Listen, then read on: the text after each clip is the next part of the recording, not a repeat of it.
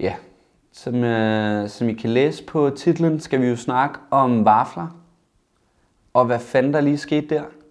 Hvordan det var, og hvad, hvad tanken, og er Albert helt vildt crazy? Hvad, hvad sker der? Altså, det, det bliver en lidt lang video, det her. Vi kommer til at fordybe os i nogle ting. Det bliver en snakkevideo direkte fra hjertet, hvor jeg bare snakker. Og øh, øh, grunden til, at jeg ligesom kommer ud med det nu, gået rimelig lang tid siden, at, at Vafler kom ud og sådan noget, fordi jeg kom ud med en dokumentar her på søndag, hvor, vi, øh, hvor jeg snakker om Vaffelstuntet. I kommer lidt tættere på mig, I ser, hvordan jeg er som person. I kommer lidt mere ind til mig, ser, hvilke tanker jeg har, hvordan jeg er. I skal jo bare se den, hvis, hvis I føler, sådan, I gerne vil forstå mig lidt bedre. Ja, jeg tror bare, det har meget været sådan, hvem er Albert Dyrlenik? Altså, hvad, hvad, hvad, hvad sker der? Hvad er det for nogle tanker? Hvad? Ja.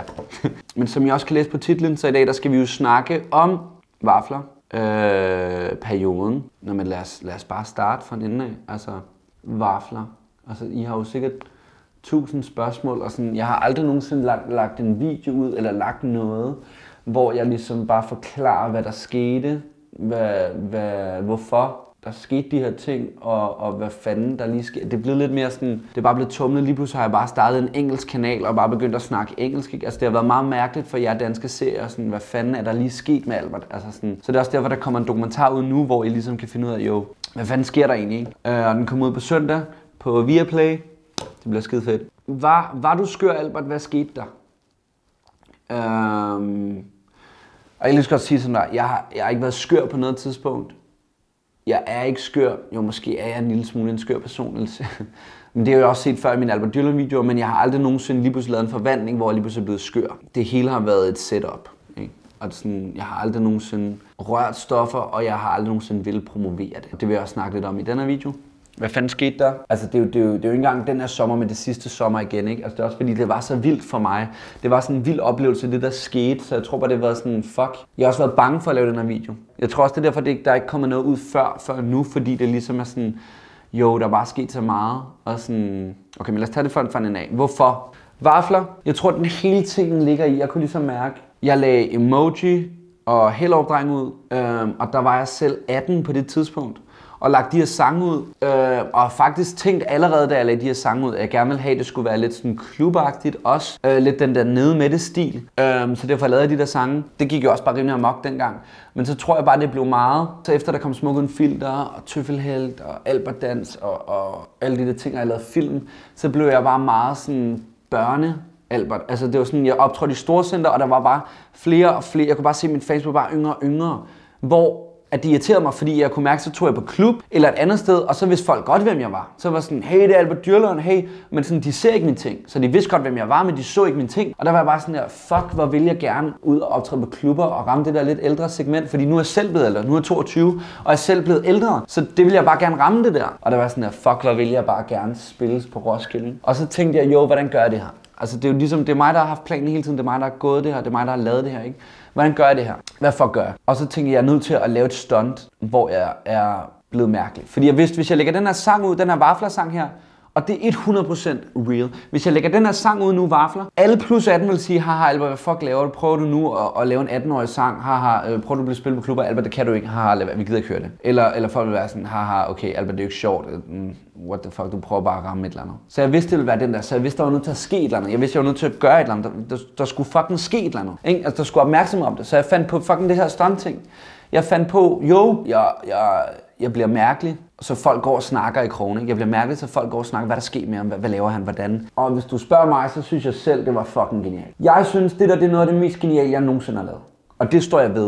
Det er bare vildt, at man får en idé sådan der, jo, hvis vi gør sådan der, så sker så kommer det her, og så sker det, ikke? Altså, og det var lidt det, der skete, at så gik det bare amok, ikke? Og der var jeg sådan der, jo, hvordan gør det? Og så startede jeg med det der med at lave min Instagram-profil, hvor det blev sort, sort profilbillede, sort, og jeg skrev sådan, jeg har brug for en pause. Så øh, tog jeg så over til Ekstrabladet, øh, hvor de lavede et interview, hvor at de spurgte om et eller andet. Det var også bare for at køre det, altså det var jo ligesom for at peppe det her op, ikke? Øh, og så spurgte de ligesom sådan, hey, øh, der er en eller anden japansk Oreo. Der er en eller anden Oreo i Japan, hvad synes I om det eller sådan noget? Og så sagde jeg sådan, så svarede jeg sådan med vilje sådan, Øhm, det ved jeg faktisk ikke, øh, fordi jeg, jeg øh, har lidt brug for en pause selv for YouTube lige nu. Og der var han jo ellers sådan, nå, okay, øh, hvor, hvorfor har du det? Og så lavede de en hel artikel om det, ikke? og der vidste jeg bare sådan, jo, nu, nu sker der et eller andet. Ikke? Vi havde altså ligesom allerede lavet sangen, og jeg vidste, hvordan musikvideoen skulle være, og det der med, at jeg skulle klippe en hår af, det vidste jeg, inden vi begyndte at lave det der. Ja, og så postede jeg jo bare ting, så lige pludselig der, så, så vidste jeg bare, at jeg skulle poste mærkelige ting, folk skal vide, at jeg er mærkelig. Og det, jeg var lidt bange for, det var det der, jo, folk må ikke tro, det er en joke der, folk må ikke tro sådan, Albert, du laver bare skuespil, folk skulle virkelig tro på det, og det er det, der er så fedt, fordi der er så mange fucking der troede på det. Altså, jeg har aldrig haft det så sygt over at lave noget, ikke? Altså, folk troede jo vidt, det er jo derfor, jeg også lavede den video nu. Folk troede stadig, jeg var blevet fucking crazy. Folk troede, jeg havde taget stoffer. Så stak det jo bare af, mand. Så, var jeg sådan, så vidste jeg, at jeg skulle lave videoer. Så lavede jeg en video, hvor at, øh, jeg vidste, at jeg skulle uploade sådan noget til Instagram. Så gik jeg ud til min bil, så så jeg en hundlort, og så var jeg sådan, what? Så begyndte jeg bare at prikke lidt til den og så begynder mine hænder bare at røre den. Fordi jeg tænker viralt allerede, når jeg filmer, jeg tænker viralt, okay, det her går viralt, jeg rører en hundlort. Og helt sygt, hvor slemt er det at røre en hundlort. Det kan godt være, at alle er sådan, øh, du kan du rører en hundlort, øh. men så slemt er det her, jeg gik ind og vaskede hænder lige efter. Ikke? Og så har du en viral video på 500.000 visninger. Det ved jeg ikke, og det var jo hele tingen det der med, at jeg skulle være mærkelig, og så kunne jeg bare mærke, at det blev hubet op der. Så fandt jeg også ud af det der, jo, hvis vi skal gå helt crazy. Altså, hvilken person vil folk tænke, jo, det er helt sygt det der. Så tænkte er Fie Laversen. Jeg fucking kontakter Fie Laversen, og så spørger om hun vil snave. Og jeg ringer bare til hende og var sådan, hej Fie, øh, vil du være med på en video, hvor vi øh, snaver? Øh, og så var sådan, øh, ej, hey, det kan vi godt, okay, vi mødes der og så mødtes vi og lavede det der, ikke? Skal blive endnu mere grineren, vi skal have Jesu brænde over. Og Sidney Lee, ikke? Sidney Lee, det tænker sådan, jo, det skal være en gimmick. Folk har ikke set Sidney Lee i 10 år, altså du ved, og han var blevet stor, så det var bare fucking grineren. Så hvis du spørger mig, det er genialt. Også hele videoen, hele fucking videoen, det, det var mig, der skrev manus på det, det var mig, der skrev, hvordan det er. Jeg, jeg starter, jeg, jeg ligger i en fucking græsplæne, er helt væk. Du ved, Sidney Lee, han kommer, og han, er, og han er bare sådan, jo, hvor fuck er det? Og jeg ligger ude på Amagerfællet, ikke? Altså, du ved, det er Amager, det er Amagerfællet. I ved godt, hvad der sker derude, ikke? Så, så det er sjovt, at jeg ligger derude og, og, sådan, og roder rundt. Altså sådan, det er bare helt fucked. Det er så sjovt at Sidney går, hey, skal du med min bitch? Og sådan med også, når videoen kører bare ikke. Altså, jeg synes, det der video er genialt. Altså, øh, production value kunne godt have blevet lidt højere, øh, men det var, det var de gutter, vi havde med der. Men sådan, det var fucking fed tid. Det var det. Fuck, det var fedt. Hele tingen, skal jeg lige sige. Hele tingen har også været med det her. Jeg var fucking bange for det her. Og det, der er nødt til at være helt ærlig, fordi jeg har altid haft mine fans, og altid har folk, så jeg har været fucking bange for det her. Jeg er fucking bange for, at alle kommer til at hade mig efter det her. Ikke? Så jeg lavede faktisk en bagom dokumentar, som jeg ville smide op en uge efter øh, det her stunt. Øh, men jeg tror simpelthen bare, at jeg blev revet med. Uh, jeg tror simpelthen, at det fik for meget opmærksomhed. Det var simpelthen for stort til at sådan der, jo, hvorfor skal jeg lade det her dø, når, jeg kan lade det, når, når det ligesom kan blive ved, ikke? Så lader jeg ikke den her dokumentar Men vi har bagom optagelser, hvor, og det, det tror jeg også, det vil jeg også vise til jer nu, fordi det kan godt være, at man så snakker sådan, hey, fordi det var virkede ret real, ikke? Men der kan I se på de optagelser, at jeg, øh, at jeg er fuldstændig normal, og jeg går og styrer det her, og jeg forklarer lidt. Så dem synes jeg, I skal se nu. 20. Hvad så? Vi har lige lavet første take, hvor jeg kysser med Fie. Slikker mig i øret. Og jeg stikker ind i øret. Du kan lige filme det igen om lidt, eller I har, I har allerede set det i videoen. Og så kommer bare væk og virker sygt weird. Ja, jeg står bare her. Skal vi prøve? Og Twan, du går lige væk derfra. Så står vi her. Så ser man Fie. Nej, man ser en bagfra nu. Men, men det er bare så, man ser... At Jeg skal bare zoome ind sådan der, så ser man bare dig fis. Altså, kan man til at være med cropped. Så er den her lige her. Men kan man klippe mellem det andet der? Ja, sagt.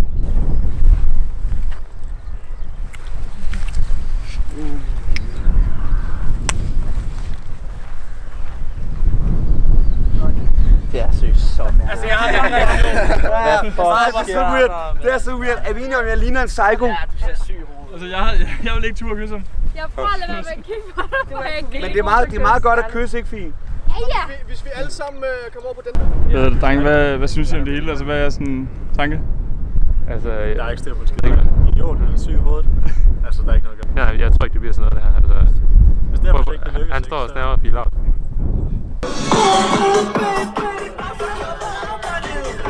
Ind i Det går i hvert fald det er sikkert. Alle smadret. Men Sydney, På den gode måde. hvad siger du til nummeret? Altså, faktisk lige her, det er faktisk første gang, jeg hører det ud i et flow. Ja. Ellers har jeg kun hørt 3 sekunder, som jeg sagde til dig før. Jeg håber, det bliver et clubhit. Roskilde. Ja, Skal du ja med Roskilde Ja, ja.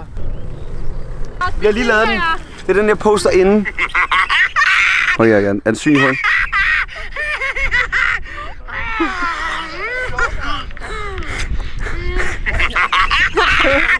er det fuck nok op?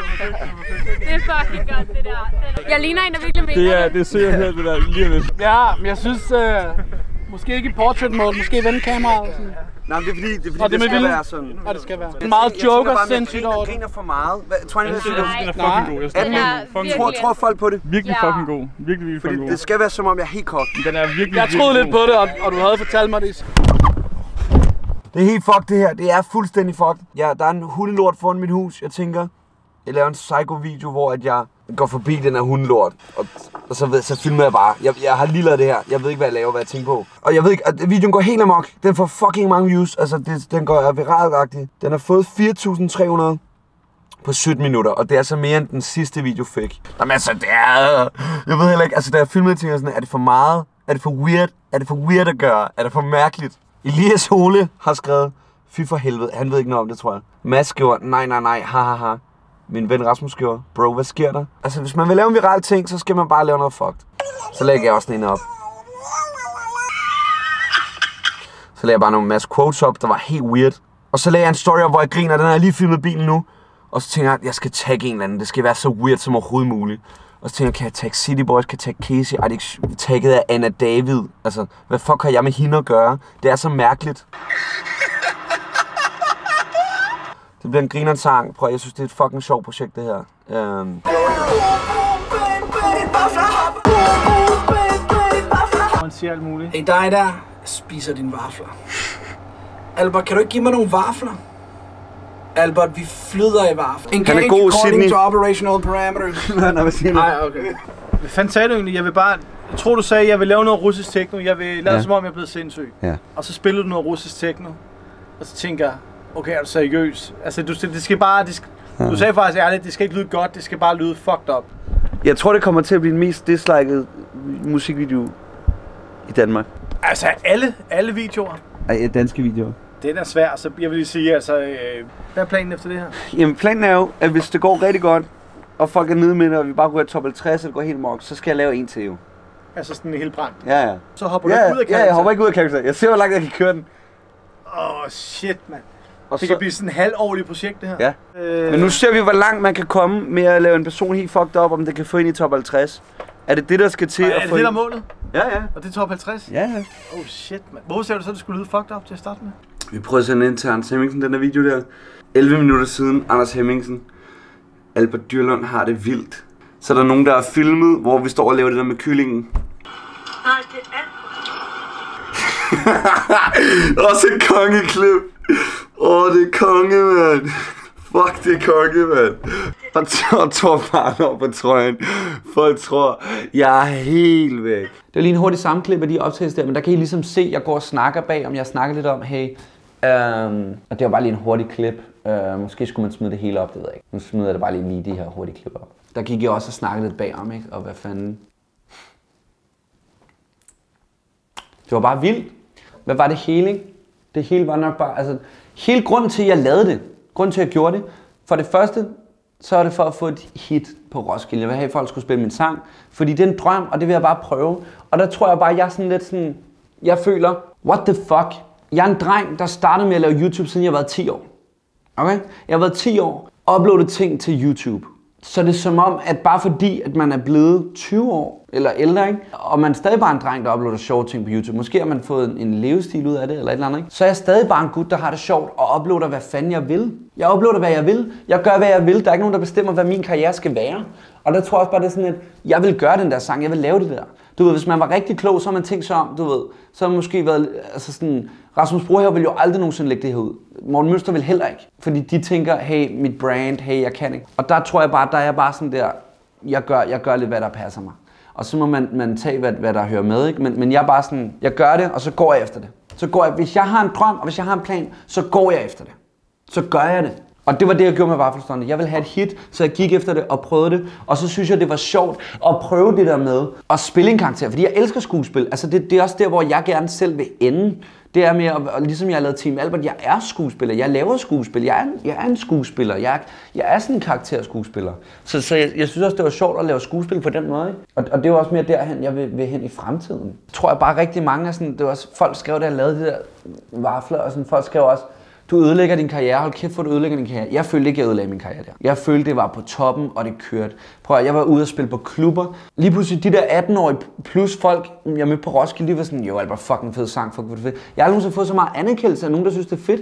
Så ved jeg godt, og det er også lidt det, jeg vil komme ind på, at der er selvfølgelig rigtig mange af jer, der har været øh, 8 år yngre, hvor jeg er fans, jeg har haft før, at det er jo ligesom det vilde skift, der, ikke? at man lige pludselig bare helt mærkelig, og sådan, folk er bange. Og, og det tror jeg også bare, at jeg vil bare gerne sige, sige undskyld også til, over til jer, fordi jeg ligesom ikke vil, jeg har ikke lavet det her, fordi jeg vil gøre nogen ked af det, ikke? Men i bund og grund, du kan heller ikke lave det her stunt, hvis du tænker over, åh, ej, jeg må ikke øh, øh, være nederen over for små børn, så jeg må lige tænke, hvordan... Så kan du heller ikke lave det her stunt, så kan du ikke gøre det 100%. Så kan du ikke spille mærkeligt, hvis du skal tænke over, hvad alle tænker.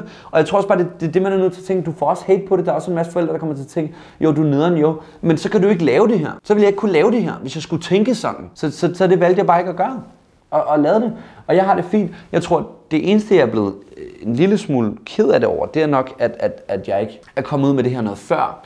Og, og sådan, at jeg føler, at alle ikke har kunne se, at det var for, for sjov. Ikke? Nogle tror stadig, det er real. Det er også derfor, jeg kommer ud med det her nu. Ikke? Og det er også derfor, vi har lavet en dokumentar. Du ved, der kommer en dokumentar ud med mig, hvor at, at I kan se, hvordan jeg er. Og, jeg, og til jer, der går og tænker over, hvordan er jeg, seriøst, gå ind og se den. Altså sådan, jeg, jeg er bundløs ærlig.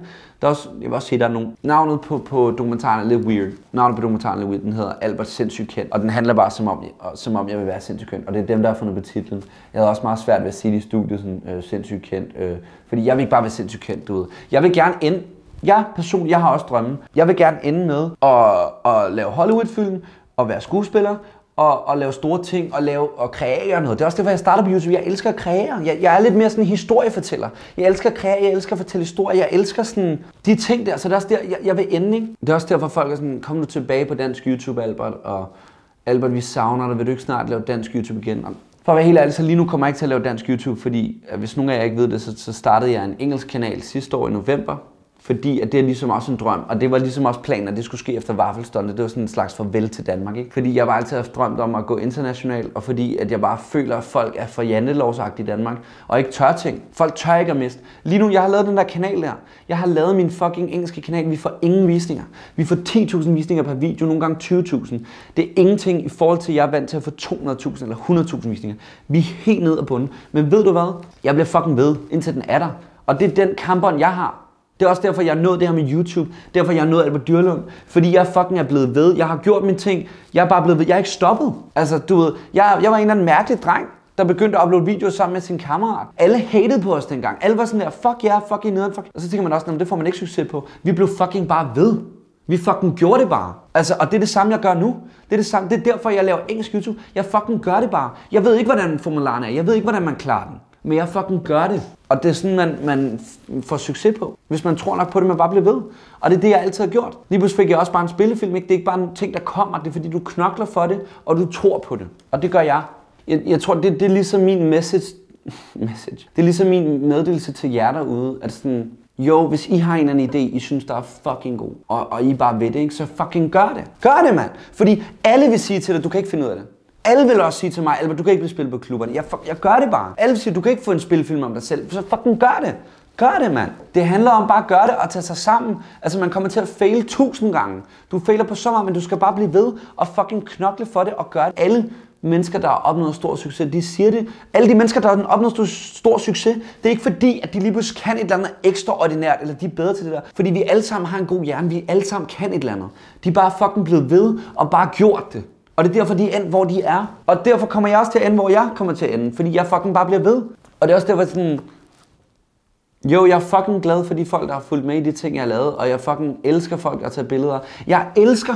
Jeg, ved, jeg tror ikke, I ved, hvor meget jeg elsker at stå i et storcenter og tage billeder med børn, Hvorfor? Fordi jeg elsker, jeg elsker at høre om deres drømme. Fordi der er så fucking mange mennesker, når de er små, der bliver skudt ned. Det er allerede der, du bliver skudt ned. Du lærer allerede i skolen, du kan ikke det her, du kan ikke det her. Jeg er fucking glad for, at jeg har gået på en, en privatskole, lille skole, hvor jeg har lært, at du må godt være dig selv. Du må godt være mærkelig. Folk har også altid sagt til mig, at du har aldrig nogensinde klaret den på en, på en folkeskole. Og, og jeg elsker at se på folk, der gør ting. Jeg, jeg elsker alle folk, der, der gør noget, der, der tør der er fucking tør, der bare går ud og gør ting. Og så fuck om de fejler, fuck om. Det er også det, når jeg startede med engelsk YouTube, jeg startede med at tage til LA. Jeg havde ikke styr på, hvordan man gør.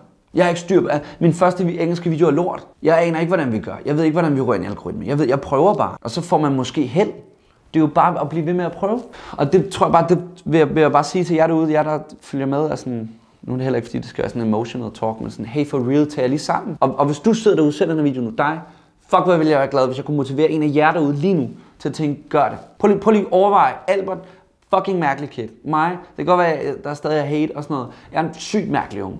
Jeg er fucking mærkelig. Jeg har da i hvert fald formået at få nogle abonnenter på Instagram, på YouTube, har lavet min egen spilfilm og fået tre guldplader. Jeg har da gjort et eller andet. Hvis fucking jeg kan, så kan fucking alle det bare tro på det. Jeg er ikke en god sanger. Jeg er ikke noget, altså sådan, jeg gør det bare. Jeg tror også, altså, jeg tror, altså det, er, det er også derfor, jeg ikke laver dansk, ikke? Fordi jeg, jeg, jeg, jeg, jeg har nogle drømme, og nu er det det, jeg gør. Nu er det det, jeg går efter. Og så er det der, hvor jeg er. Du ved, jeg bakker ikke ud. Selvom det går dårligt lige nu på min engelske kanal, så er jeg ikke sådan, Nå, ej, jeg kunne bare gå tilbage til Danmark, og så ville det gå fint igen. Nej, jeg knokler sgu for det. Jeg prøver, mand. Jo, hvis, hvis I sidder derude og vil hjælpe mig, hop ind og abonner på kanalen. Se det. Måske send det til nogle af jeres øh, engelske venner. Nogle I kender, der snakker engelsk, så det kan ryge ud til nogle i, i udlandet. Ikke? Så vil jeg blive fucking glad, hvis, hvis folk havde hjælpe mig. Altså, det, det ville jeg virkelig være sat, hvis I gad. Sådan helt sygt. Ja. Men udover det, så tror jeg også det der med vaffelting, ikke? jeg tror også, det var sådan en helt ting, det der med, jeg har i hvert fald oplevet, og det, det ved jeg også nogle andre YouTubere snakker om, jeg har oplevet, hvor at små børn, og, og det er også til jer forældre derude, jer der sidder og er sådan, Åh, Albert han er jo helt, der er rigtig mange forældre derude, og jeg ved også, det er en ny ting med YouTube, og det er nyt alt det her. Men der er så mange forældre derude, hvor jeg har mødt nogle små børn. De kommer over, hey, må jeg få et billede med dig? Og så står moren bare sådan her, øh, hvem er du egentlig? Og jeg bliver ikke pissed over, at hun ikke ved, hvem jeg er, jeg er, men jeg bliver pissed over, at hun faktisk ikke sådan går op i sit barn. Du ved, helt lille barn, måske nu på fire år. Er du klar over, hvor mange ting, sådan, jeg, jeg har ikke gjort nogen særlig slemme ting, men sådan, prøv at tænke, hvis det er en lille barn, så er noget helt fucked. Et eller andet helt andet, du ved, øh, øh, måske noget med noget sex, eller, eller sådan et eller andet lille barn, så ikke skal se. Altså, og, og, og, hvis I hører i Vaflersangen, jeg synger ikke noget værre end i Ulla. Det kan godt være, at Jesu prøver at være så lidt værre. Men mit, mine ting er ikke, så folk kan sagtens høre det. Og, og helt seriøst, jeg kunne sagtens have lagt vafler ud, uden videoen, uden stuntet, med samme sang, hvor ingen vil reagere. Ingen vil være sådan der, jo, det er alt for meget, jo, hvad sker der? Jeg, jeg tror også, jeg tror også kun til, måske også kørte lidt, det var sådan en, fuck, hey, tag jer sammen. Prøv, prøv lige at se, hvad jeres børn laver. Det er det sikkert, jeg har det sikkert hjulpet nogle forældre til at tænke sådan, jo, jeg skal da mere holde øje med, hvad mine børn går og laver. Og så tror jeg også bare, det er, sådan, det, det, det er fandme svært, det der med sådan at vide, hvad ens målgruppe er. Fordi i bund og grund, du skal have en profil, hvor du er over 13 år, men der er mange mindre, der ser det, men det er bare fordi, det er noget, vi ved. Men hvis man kigger rent sådan statistikagtigt, og der er ikke engang særlig mange 13-årige, der ser ens video, selvom der er lavet børneting, fordi alle fucking laver en plus 18 profil. Så der står, at der er flest 18-årige, der ser det, men altså, det ved man så ikke er rigtigt. Så hvordan skal man kunne måle det? Hvordan skal man kunne vide, okay, hey, der, selvfølgelig fordi man bedre en masse i virkeligheden, ikke? men sådan, i bund og grund, hvis du kigger på det statistik, så, så kan du ikke se det. Men altså, i bund og grund, så tror jeg bare, så, altså, jeg, jeg vil meget gerne sige, jeg vil meget gerne, det vil jeg meget gerne, sige undskyld, hvis, hvis jeg har gjort nogen ked af det, eller sådan, hvis, hvis, øh, hvis nogen har haft det dårligt over det. Men jeg tror ligesom sådan, hvis man tænker for meget over, hey, der er en der får det dårligt over det her, så, så vil jeg ikke gøre det. Forstår du? Så vil jeg have det for dårligt med mig selv. Altså, så vil jeg sådan, jo, der er en masse, der får det dårligt over det her. Ej, jeg kan ikke gøre det. Så det er også bare med at gøre ting, og nogle gange bare sige, fuck det. Og sådan, jeg havde det sjovt. Jeg havde det fucking grineren. Jeg synes, det er noget af det mest geniale, jeg nogensinde har lavet. Og, og der blev jeg faktisk lidt stolt over mig selv, at, sådan, at man kan gennemtænke det der, ikke? Og bare, at det er fuldført. Man har en plan, og man tænker sådan... Men, men det skal også lige siges, altså du ved, jeg gik også normalt af signet med Universal. Jeg gik også ind og snakkede med Universal om det, og viste det til dem, de sagde, ah, det kan vi ikke. Så det er gjort helt uden nogen. Det er kun mig selv. Syg verden, vi lever i. Pas på jer selv. Nej, men det er, jeg synes fandme også, det er også en syg verden. Altså, du ved, med sociale medier og, og ting, ikke? Altså sådan, fuck, jeg synes fandme, at det, det er en vild verden lige nu, man skal passe på sig selv, ikke? Altså, man skal fandme også bare hoppe lidt væk fra den skærm, lave noget andet. Altså, vi bliver alt for meget på den skærm, og vi bliver alt for meget. Det påvirker vores, vores liv og vores... Også alle de fake ting, ikke? Altså, så mange Instagram-piger, der kun poster ting af bikini, ikke? Altså, det er som om sådan... Så tænker piger, så skal man kun se sådan ud, ikke? Altså, det, det bliver bare vildere og vildere, ikke? Så jeg synes faktisk, det er skræmmende, hele den her ting her. Og jeg er bare en del af det. Det synes jeg også er sådan lidt vildt. Men ja, altså det, det her det var nok en lidt længere video og en snak. Og sådan, hop ind og se dokumentaren, hvis I gerne vil høre nogle flere af mine øh, holdninger og ting. Og sådan, I hvert fald, jeg, jeg kommer ikke tilbage på dansk YouTube lige nu. Jeg går all in på engelsk, og det er det, jeg laver. Og det er for at følge min drøm. Og der tror jeg bare, at, at alt for mange mennesker tænker for, for småt. Altså jeg vil ønske, folk kunne tænke større. Ikke? Folk dømmer altid. Fordi du kan fandme, hvad du vil. Altså, jeg ved, at den her kanal blev op, min engelske kanal lige nu. Og der ved jeg, at der er en masse af jer, der sidder ude og tænker, nej, det kommer ikke til at ske. Men sådan siger folk altid. Altså, det, sådan er det. Det er også en lille motivation, synes jeg. Men, men man skal bare tro på det, så sker det. Ja. Men, men igen, jeg vil også sige, fuck, hvor er jeg glad for alle dem, der har støttet mig igennem alle år, og været sådan, dem, der virkelig har set min video, ikke? og været sådan, hvis jeg skulle det fedt, det du laver, Albert. Og, og det er ikke fordi, at jeg vil være nede og skuffe jer og være sådan, nu laver jeg ikke dansk mere. Jeg tror bare, det er fordi, jeg har nogle drømme, og, sådan, og, og, og I kan følge med derinde over. Men jeg, jeg, ja, det, det er bare sådan, det er, og det er bare sådan de ting, man gør, ikke? Det kan jo være, der kommer noget på et tidspunkt, men jeg tror meget hellere, jeg vil ud i, hvis jeg virkelig skulle lave noget på dansk, og så lavede man et eller andet, et comedy show, eller, eller noget helt andet, ikke? Noget, der var lidt federe. Det er sådan, det kommer til at være fremadrettet. Jeg laver engelske videoer, det bliver jeg ved med, indtil det fucking lykkes, og så ser vi, hvad der sker der. Okay? Så må jeg have det godt, og så tro lidt mere på jer selv derude. Tro på jeres drømme, Og fucking bare gøre det ligegyldigt, hvad alle andre siger, ikke? Altså, det er jo sådan, det er. Altså, jeg er selv der. Men sådan, det lyder også mærkeligt at sige kendt. Men sådan, jeg, jeg er da blevet en af de rimelig store dudes i spillet, i hvert fald på YouTube, ikke? Og jeg er også bare en eller anden mærkelig gut, der begyndte at lave video, ikke? Ligesom dig, der sikkert det, sidder og ser det her, ikke? Altså, jeg, jeg hader også, altså, hvorfor kan man ikke bare være mærkelig? Hvorfor? Vi er jo alle sammen mærkelige. Hvis du tænker over det, så dem, der går i din klasse, hvis du tænker over det, dem, der går i din klasse, dem, der, der virker allermest normale og seje, det er fordi, de dækker på et eller andet, eller det er fordi, at de ikke tør at vise deres mærkelighed. Fordi alle er mærkelige. Alle har et eller andet mærkeligt. Alle gør et eller andet mærkeligt. Du kan ikke bare være normal dude, der bare går rundt og sådan. Du, du, du, du, du er jo, og, og, og det mærkelige er jo ikke dårligt eller underligt. Det er fantastisk. Det er jo det mærkelige, man skal holde fast i. Det, det er jo det, man, jeg, jeg tror, man klarer sig på. Det er jo det unikke. Der er ikke nogen, der kan være dig. Du kan kun være dig, ikke? Og det er også sådan, jeg har det. Jeg er bare mig. Jeg prøver også lige så meget også at finde ud af livet, ikke? Og prøve at finde ud af, hvad, hvad fanden, hvad sker der i livet? Hvad er det, man vil, ikke? Hvor, hvor er det, man skal hen? Og det, og det lærer man bare ved at fucking at være i livet. Jeg, jeg ved ikke noget. Jeg prøver bare. altså, og så skal man jo bare tænke på at bare være det bedste menneske og prøve at være sød. Og det er jo ting, man skal lære og bare være, være bedre og bedre for hver dag og lære ting. Så øh, hop ind og følg med på den engelske kanal, hvis I vil. Det var fucking fedt, at, øh, hvis du har set den her til den her video. Jeg vil dog sige, at jeg savner jer i Danmark. Lige nu er jeg i Letland. men jeg savner også at være lidt ude og optræde til storcenter, men sådan, det er bare ikke der, jeg er lige nu. Det kan være, at man kommer tilbage til det på et tidspunkt. Ikke? Men, men jeg er fandme glad for, jer, der har, har støttet mig nogensinde og, og gjort et eller andet for mig. Og sådan oprigtigt støttet mig. Ikke? Altså ikke bare dem, der sådan, hey Albert, kan vi få et billede, og så lægge det ud på Instagram, så vi får likes. Men sådan, vær rigtig sådan, jo Albert, jeg synes, det er fede ting, du laver, og, og keep så op, og du er en nice person. Og sådan. Tak til jer. Og så, øh, ja, så håber I fik lidt mere forståelse af, hvad der skete dengang, og hvorfor jeg lavede det, og hvad fanden. Det var sygt. Det var en fed tid. Og det, det er en tid, jeg vil huske tilbage på, og tænke, det var fucking fedt. De fuck, der var mange af jer, der også ude synes, det var fedt. Så sådan, I må gerne smide en kommentar, hvad I synes. Der skriv lidt frem og tilbage. Jeg har ikke så meget mere at sige. Så jeg smutter herfra. I er dejlige mennesker derude. Alle mennesker derude er dejlige. Hold hovedet op. Ha' det godt. Vi ses.